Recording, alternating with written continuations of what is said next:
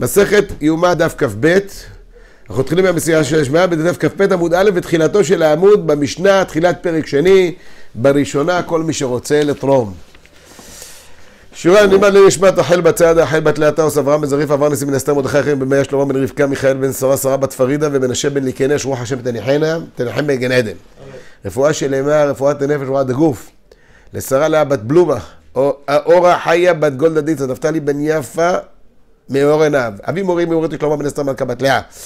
חמי היקר, משה ניסים בן רחל, לסמדה בת רחל בת דודתי, אהרון חננה בן לאה, חיים בן רחל, טוביה בן רחל, משה בן מיכחנה דבורה, יהודה בן מיכחנה דבורה. יעקב בן רחל, שמעון בן רחל, מירב בת רחל, ז'יזל בת צעדה, יאללה, ימנה בת צעדה, אריק בן יפה באסו, דניאל עזרא בן שרון. בוריה בת חנה, תמר בת חביבה, ננו בת ברהנה, דן בן אברהם, מרדכי בנימין בן שרה, ומרים אליס בת שמחה סופי, רפואה שלמה, רפואת הנפש ורפואת הגוף. זיווג הגון לעקיבא דור בן רבקה, שברוך השם דין התפטר ממנו, ובעזרת השם יתחתן לנו בקרוב. חגי בן מלכה, דניאל בן ממה, יעקב בן צייניש, משה בן מיכל, יהודה בן מחנה דבורה, אברהם בן מטר, נחמים בן אור עשרון בן צייניש, עודד בן פנטנש, תשבי יהודה בן תמר שמחה, סימון בן מרב רבקה, ליאור בן ברכה, ציון בן הצעדה, משה בן ממי, צבי נתן בן חנה איתה, דוד בן קסה, יקיר בן ממאי, לאה בת ברכה, דרור בן ענת, אליהו בן גילה, רבקה בת תהילה בת חנה, זיווג הגון במהרה וימינו, אמן. שילה בן יאיר בן? אורה. לא, לא אמרתי את זה פה? לא, אני צריך להוסיף את זה ברשימה. תזכיר לי. אוקיי, מתחילים בדף כ"ב עמוד א' בראשונה, כל מי שרוצה לתרום את המזבח תורם. העבודה הראשונה שהייתה על הבוקר זה היה תרומת הדשן. מה זה תרומת הדשן? הכהן היה עולה דרך הכבש מדרום לצפון, מגיע למרכז של המזבח, שם היה תפוח גדול, כאילו אז היה ערימה שהיה שם הדשן, ולוקח מבפנים את האפר, מה שנשאר מהקורבנות ומהעצים, יורד למטה בחזרה לכיוון דרום, עושה פרסה, חוזר לכיוון צפון, שממערבו, מצד שמאל שלו נמצא הכבש, שלושה טפחים מהכבש מגיע עשר רמות, אחרי עשר רמות הוא מניח את זה שם בקרקע, מרים את הבלטה, מכניס את זה וזה נבלע שם, וזה היה מצוות תרומת הדשן. בראשונה. הכוונה בהתחלה. כל מי שרוצה לתרום את המזבח תורם, כל מי שהיה רוצה לעשות תרומת הדשן תורם. כנראה שלא היה ביקוש יותר מדי גדול. בזמן שהם מרובים, מה קורה עם כמה אנשים, זה אמר אני תורם, זה אמר אני תורם? רצים ועולים בכבש, כל הקודם את חברו בארבע אמות זכה. הם היו רצים ועולים לכבש, כל מי שהיה מגיע בארבע אמות הכי קרובים למעלה, כמו שנראה לכמה בגמרא בדף כ"ג עמוד א', הוא זכה בתרומת הדשן. ואם היו שניהם שווים, מה קרה אם שניהם היו נק תנק מה שנקרא, הממונה אומר להם הצביעו, מסביר על זה רש"י הקדוש, אז עכשיו כבר זה לא הולך ביניהם, לדוגמה עשרה אנשים רצו את זה. כולם רצים, שתי אנשים שווים יצאו, חוזרים בחזרה ועושים גורל על כולם, לא על שתי החבר'ה האלה, על כולם. ומה הם מוציאים? אחד או שתיים, והם מוציאים אגודל במקדש. הכוונה היא כזאת, הם מוציאים אצבע אחת או מוציאים שתי אצבעות, ולכמן הגמרא תשאל, תחליט או אצבע אחד או שתיים, כאילו, אם שתיים אפשר, כמה שאתה רוצה, כאילו, עד שתיים. מוציאים אחד או שתיים, ואז הוא מתחיל... הוא היה... הוא היה, סופ... הוא היה סופר אותם. מה היה עושה? הוא היה מוריד את הכובע לאחד, הוא היה מעמיד את כולם בעיגול, מוריד את הכובע באחד מהם, ותוקע מספר, אומר, אה, יש עשרה אנשים בערך, הוא אומר 73. הוא מתחיל לספור ממנו 1, 2, 3, 4, 5, ועד שהוא מגיע, כשהוא גומר, מגיע ל-73, אז, אה, אז אותו בן אדם מקבל את, את ה... בפיס הזה, הוא מקבל את תרומת הדשן. עכשיו אתה מרים אחד או שתיים, אבל אל תעשה שלוש, למה? לא, אל לא, אל תעשה באגודה, למה? כי אנחנו נראה לכמובן בגמרא שאת השתיים סופרים את זה בתור אחד. למה? כי זה ניכר שזה בן אדם אחד, רק מה?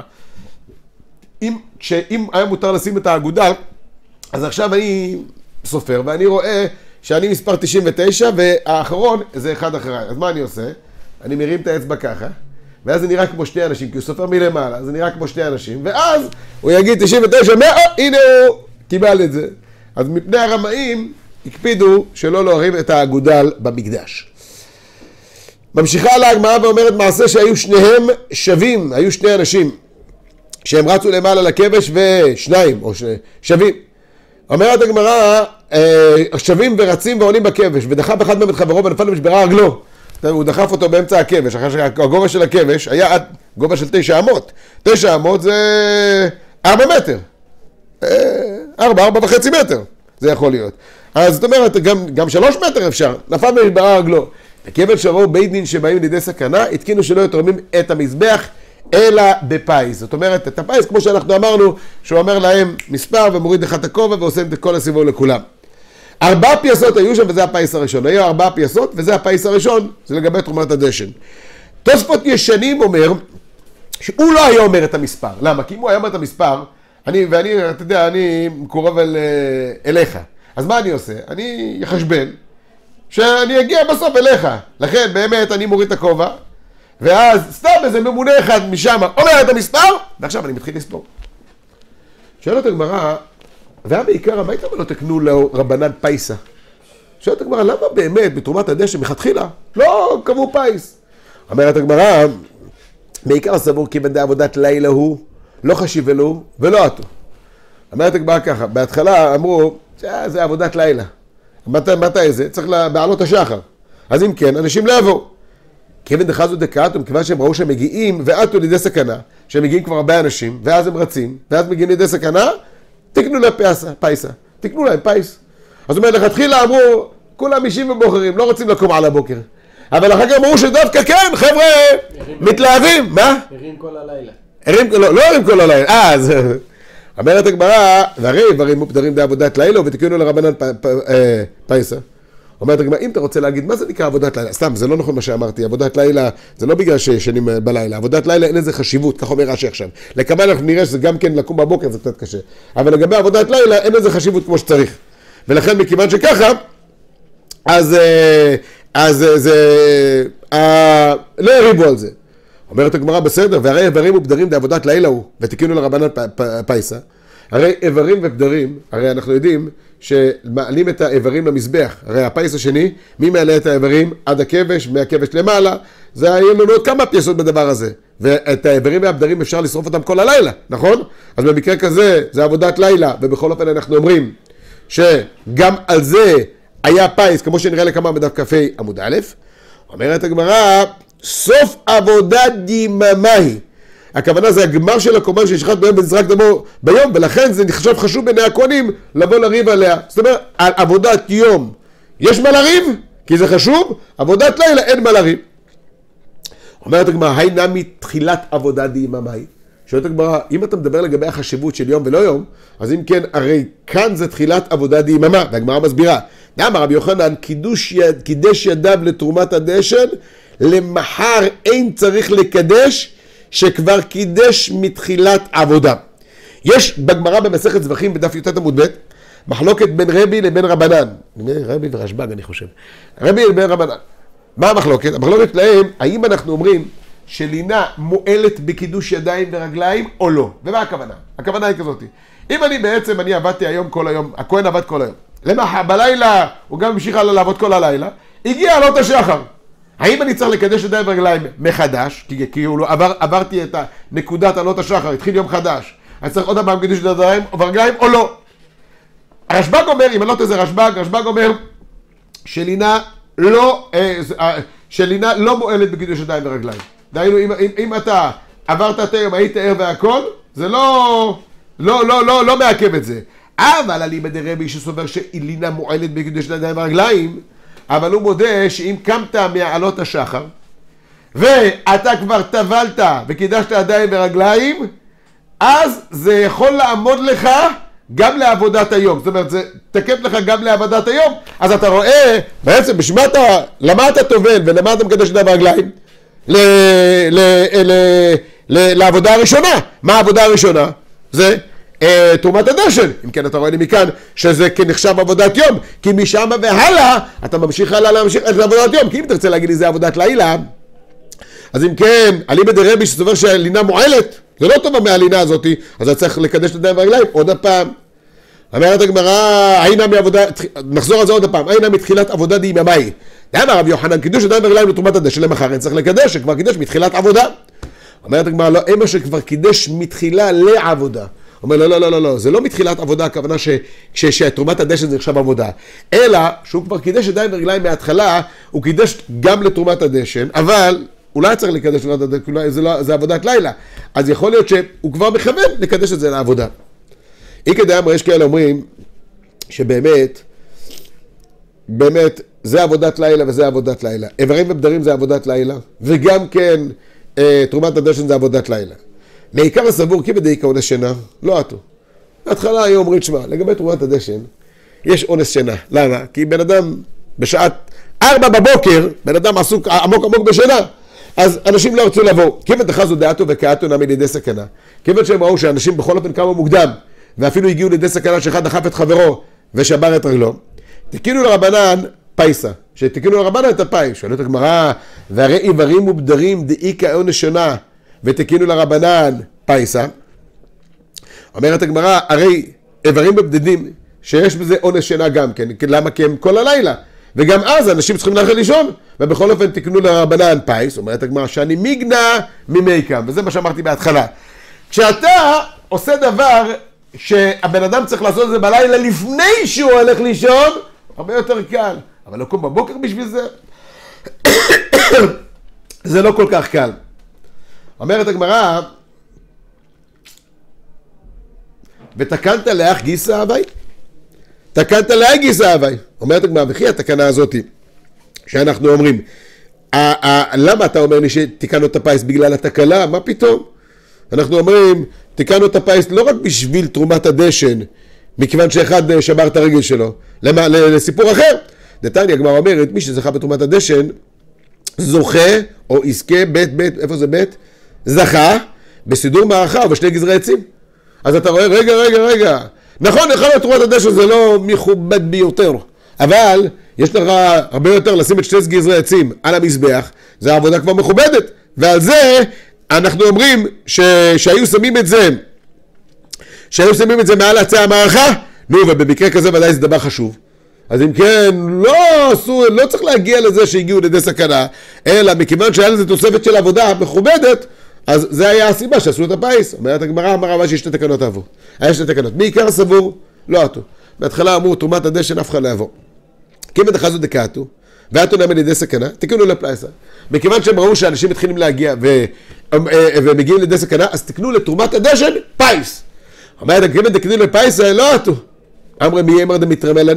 הוא אומר, מכיוון שהוא קם בבוקר, הוא יודע, יש לי תרומת הדשן, הוא רץ, אבל אם הוא קם בבוקר, אה, יש עכשיו פייס לתרומת הדשן, בוא נמשיך לישון.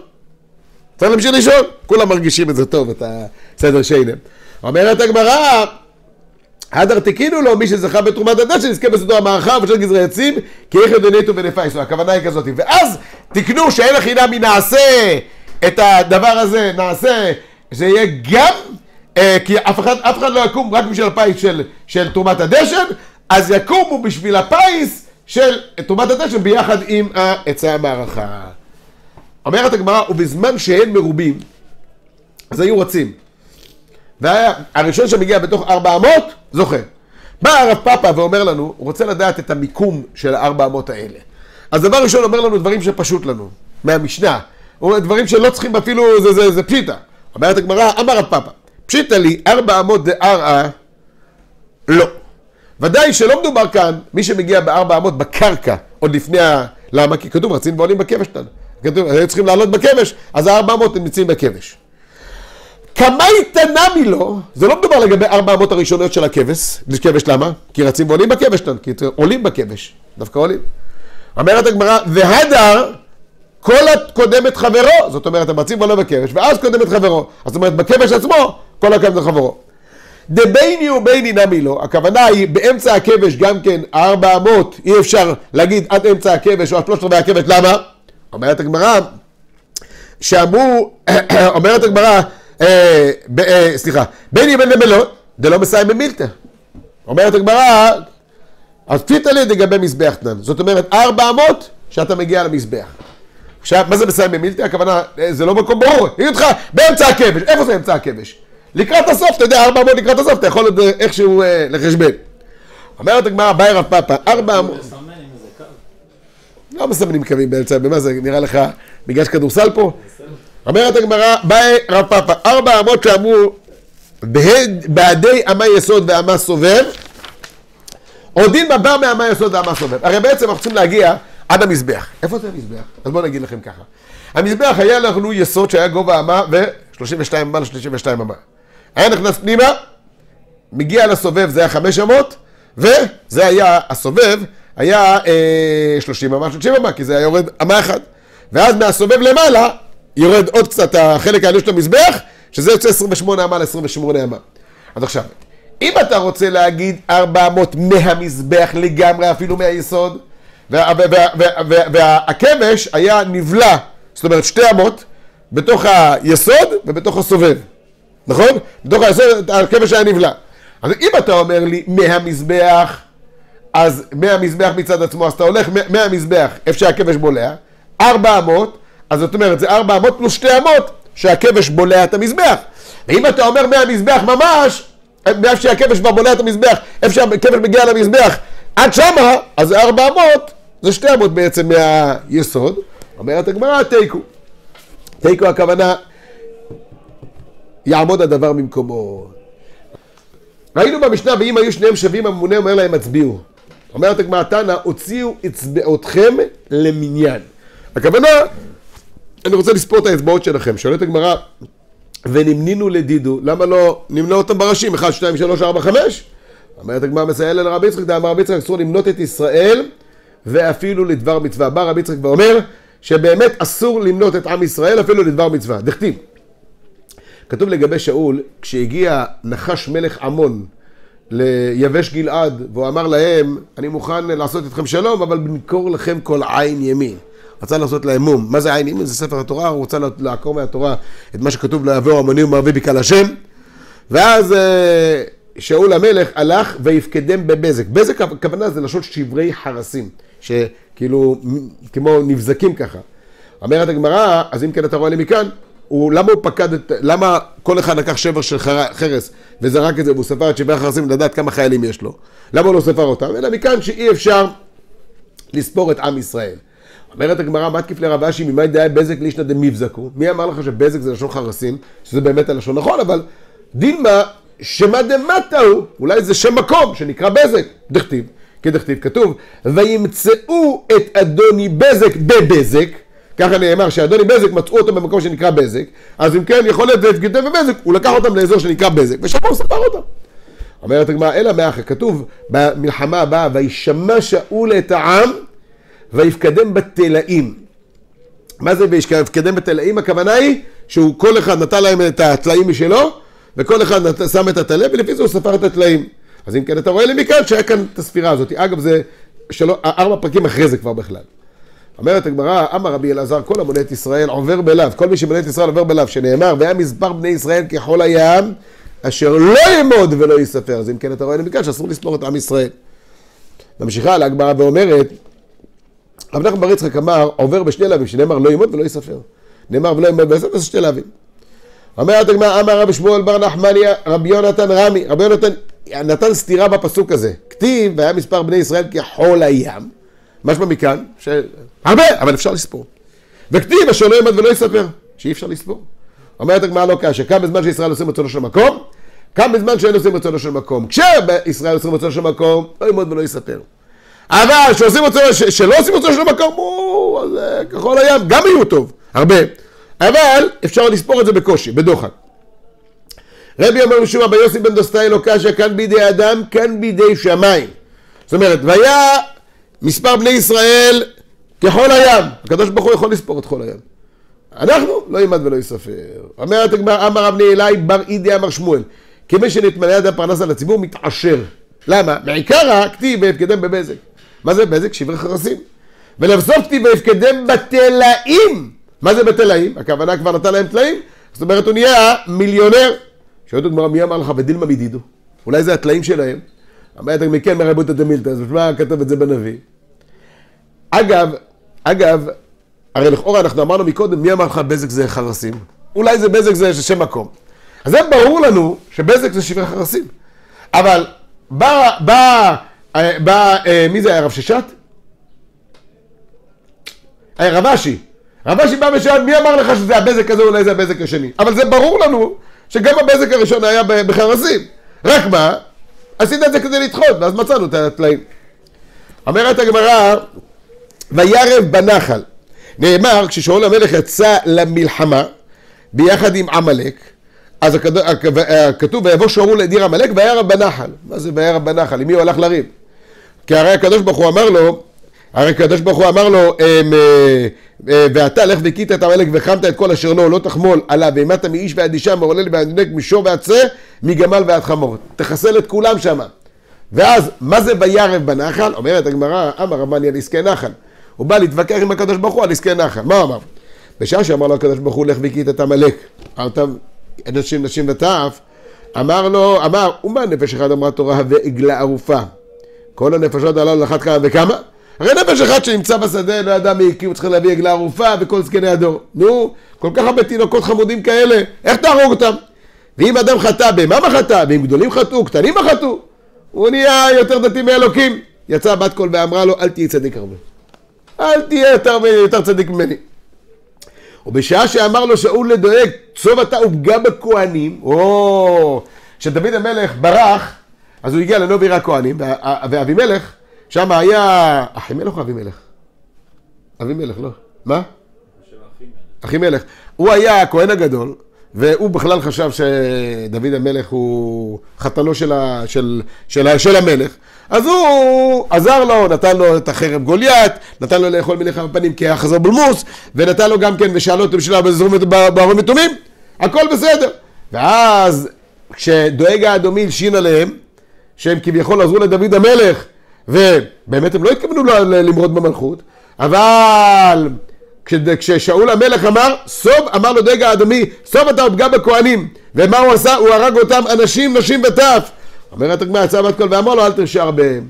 אל תהיה יותר צדיק מהקדוש ברוך הוא, ואל תהיה יותר רשע, ואם תהיה יותר צדיק ממנו, יסתבר שאתה רשע גדול. והסימן הכי גדול, מי המציא את האגודה לצער בעלי חיים? אדולף היטלר. עיין בגוגל ותראה, תבדוק אחר כך אצל הרב גוגל. אומרת הגמרא, אמר רב הונא, כמה לא חלי ולא מרגיש יברא דמר אסאי. כמה לא, מרג... לא חלי. והכוונה היא, כבן אדם הוא לא צריך לחלות ולדאוג, לבקש, כשהקדוש ברוך הוא עוזר לו. כבר הקדוש ברוך הוא עוזר לו לפני שהוא אפילו מבקש. שאול באחד ועלתה לו, דוד בשתיים ולא עלתה לו. שאול עשה עבירה אחת ועלתה לו במלוכה, זאת אומרת הוא שילם על זה בכיסא שלו. מה שיגיד דוד בשתיים, ולא עלתה לו במלוכה, הוא נשאר מלך והילדים שלו וכן על זה הדרך. והגמרא מסבירה, שאול באחד, מה היא? ממעשה דאגג, מה היה המעשה של הגג? שהוא השאיר את הגג חי, והשאיר אותם ככה את הכבשים, מקל הצאן, מעשה דאגג. שואלת הגמרא, והאיכא מעשה דנוב עיר הכהנים. הרי היה מעשה של נוב עיר הכהנים, אומרת הגמרא, מעשה דאגג כתיב ניחמתי כי המלכתי את שאול. וזה היה לפני נוב עיר הכהנים. אז זאת אומרת, כבר כבר במעשה של, של עמלק, כבר הקדוש ברוך הוא ניחם בגלל אחד. אז לא צריך את נור בין הכהנים בשביל אה, לעקור לו את המלוכה. אומרת הגמרא, כי המלכתי את שאול למלך. דוד בשתיים, מה עינינו? אומרת הגמרא, אוריה וההסתה. מה זה אוריה? אוריה החיתי הגיע בחזרה מה... זה היה אחרי מעשה בת שבע. אוריה החיתי הגיע בחזרה, והוא שלח אותו אחר כך למלחמה, ושם אותו בקו הקדמי, והוא נהרג. זה אחד. וההסתה, הסתה זה הכוונה שהוסק למנות ישראל בסוף ימיו וגרם שיבוא עליהם דבר. אומרת הגמרא, אז אם כן, אתה רואה לי מכאן שתי דברים, ובכל אופן לא עלתה לו במל... במלוכה. שואלת הגמרא, ואי כנה ממעשה דבת שבע? אומרת הגמרא, גם ממעשה דבת שבע? אומרת הגמרא, לא הטה אפרעו מן... דכתיב את הכבשה ישלם ארבעתיים. זאת אומרת, שם כבר הוא, הוא קיבל את, ה, את התמורה שלו. למה?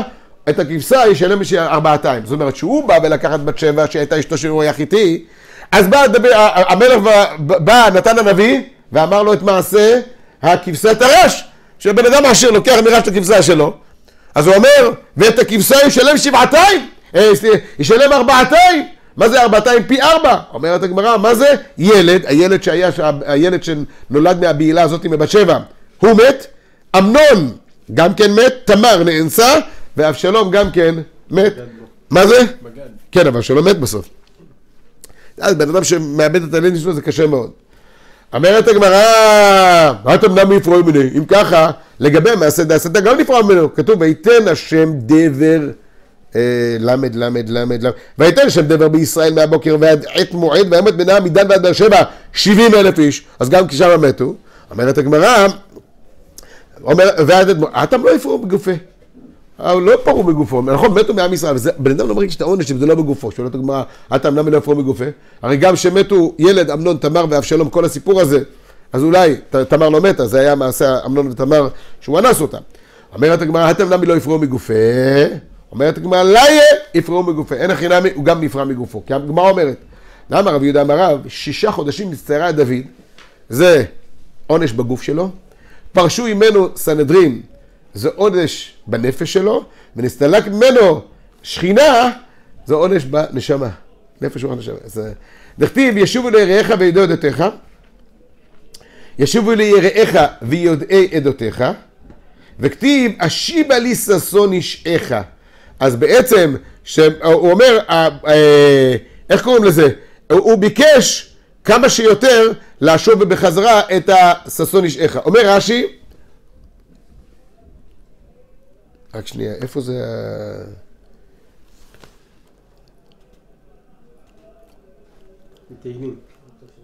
אה, איך הפסוק? אה, ישובו לי יראיך וידעי עדותיך, השיבה לשטון נשאר באורני דבציס מחני. אז כוונה היא כזאת, שיראיך וידעי עדותיך זה תלמידי חכמים שיחזרו אליי בחזרה.